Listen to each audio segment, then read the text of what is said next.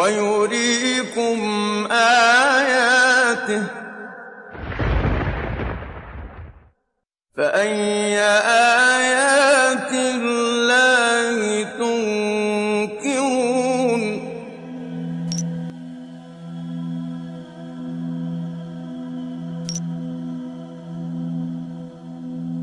From any point in the world, the direction facing the Kaaba is called Qibla, and Muslims are expected to face Kaaba while performing Salah. For most of the people who don't know the wisdom behind the Holy Kaaba, it seems like Muslims are worshipping this cubic black house. That's why many of them ask the question why a Muslim should prostrate towards a rocky house like the Hindus who are worshipping idols. Now, what is the difference between Islam and other religions in this regard? In Islam, there's a rule that if someone does not know the direction of Qibla or he has no possibilities to verify it, then he can pray to any direction he thinks is correct. Because Allah subhanahu wa ta'ala says, ولله المشرق والمغرب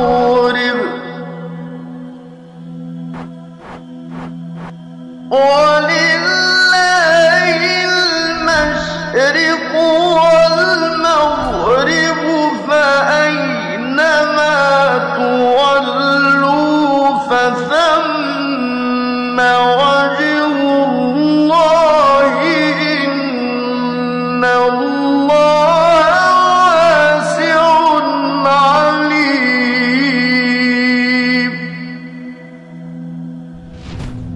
From this verse, we can understand that the meaning of prostrating towards Kaaba is only to be united. Otherwise, everywhere is belonging to Allah subhanahu wa ta'ala. No Muslim ever worships the Kaaba when you offer Salah. Kaaba is the Qibla, it is the direction. We Muslims, we believe in unity. Now, when we offer Salah, suppose you want to offer Salah here, some will say, let's face north, some will say south, some will say east, some will say west. For unity, Allah says in the Quran, Surah Baqarah, that wherever you are, face towards the Kaaba. So, Kaaba is the Qibla, it is the direction. So we are facing in that direction, but no one worships the Kaaba. Furthermore, if yet you have doubts, if you read the Hadith that's mentioned in Sahih Bukhari, volume number 2, in the book of Hajj, chapter 56, Hadith number 675, Hazrat Umar may Allah be pleased with him, near the second Caliph of Islam, second Khalifa. He said that this black stone pointing at Hajar Aswad, black stone, it can neither benefit me, it can neither harm me. Just because my prophet kissed it, I'm kissing it. This statement that this black stone can neither harm anyone nor benefit anyone is sufficient to prove that the Muslim don't worship the Kaaba. Furthermore, at the time of the Prophet, there were Sahabas, there were companions of the Prophet who stood on the Kaaba and gave the azan. No idol worshipper will ever stand on the Kaaba and give the azan. Proving that no Muslim ever worships the Kaaba, it's only the Qibla, it's a direction. Not only Salah towards the Kaaba, rather the circumambulation is also a sign of unity.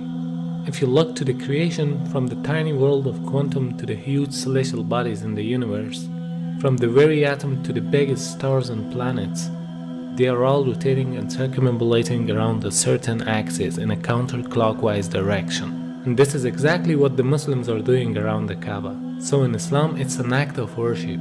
It means in nature everything is worshipping the Almighty Creator, but not the body which is in the center of the circumambulation. This represents the unity in the whole creation.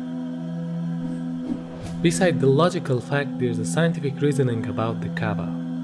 When a person puts his head on the ground towards the Kaaba, the harmful charges would be released out of his body in a perfect manner, and it causes the body to balance its energy system. To know how it works, first you should know about the concept of the golden ratio. The golden ratio is a proportion of a longer distance to a shorter one, which is equal to phi constant, 1.618. This ratio is also called the divine proportion because the Almighty Creator has used the very same proportion in a great number of events.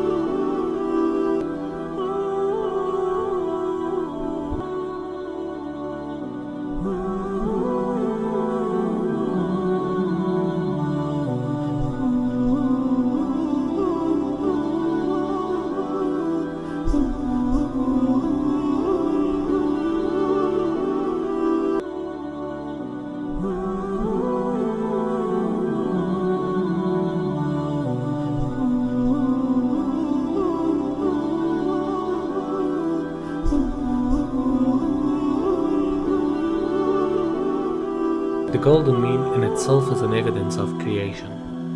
If we apply this ratio on Earth, we'll find out that the golden point of the globe is the city of Mecca, whereas the golden point of Mecca is Holy Kaaba. So because it's the golden point of the globe, it is the strongest energetic field on Earth. فالمركزيه جاءت واخد بال حضرتك في الاتجاه العلمي بمعنى ايه؟ إن هم لما طلعوا في الفضاء وصوروا فلقوا الأرض كرة معلقة ومظلمة. ولذلك حتى الراجل قال إيه؟ أجدها كرة مظلمة معلقة من الذي علقها؟ ده هو يريد خرج هو أرمسترونج. آه. وكان كأنه يريد أن يقول بلسان الحال لا بلسان المقال الله الذي علقها. ووجدوا فيها شعاع يخرج. من الأرض. من الأرض. كتبوه في الشبكة العنكبوتية في الإنترنت وخلوه على مدى 21 يوم. ثم أخفوه. أخفوه لماذا؟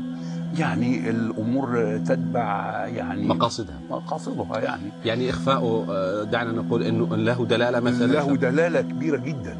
مم.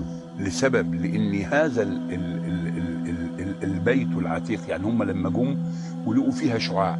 لما لقوا هذا الشعاع ابتدوا يركزوا الصوره فوجدوا انه خارج من مكه وبالتركيز وجدوا انه خارج من الكعبه For understanding how the golden mean provides an energetic field, you can take the example of the galaxies or planets, which emits the energy from the center point to the outer edges, just like a nuclear which balances the energy system with the electrons which are rotating around it. It means they are taking the negative energies and giving the positive energies for a balancing purpose. وبالتالي عندما تطوف انت تشحن معلش سبحان الله ايوه هذه حقيقه Now, the investigations show that every day our body collects electromagnetic charges from its surrounding which are harmful for us. And these charges concentrate to the forehead, meaning the frontal lobe of the brain, which causes depression, headache, laziness, mental pressure, and even more dangerous problems. This forehead part of the brain is known as the frontal chakra, throughout which the body takes positive and negative energy. It is observed that these harmful charges can be released by putting our head down on the ground. But for a better result, we should put the frontal chakra of our body in a direction towards the strongest energetic field of the earth, meaning the Kaaba. Dr. Andrew Newberg studied the brainwave activity during the prayer. He found some direct impact on several brain locations. The benefits of prayer are incredible. Regular daily prayer helps the frontal lobe from shrinking with age, which is the part of the brain that regulates our speaking, reading, and memory. Therefore, this helps to prevent memory loss in old ages.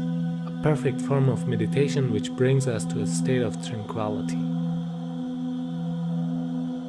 وهناك بحث أن صخور مكة البازلتية السوداء هي أقدم الصخور الموجودة في العالم. فده كلام حقيقي. أقدم الصخور.